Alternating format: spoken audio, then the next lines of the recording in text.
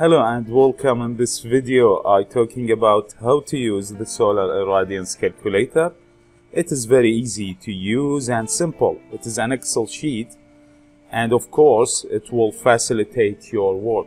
So now let's go to see from where you can download this sheet. ResearchGate and from the publications. Solar angle and radiance. This is it. This is the first result.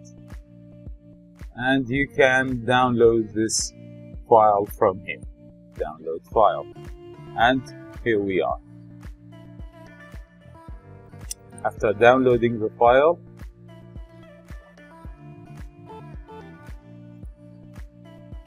enable editing read only. And this is the sheet.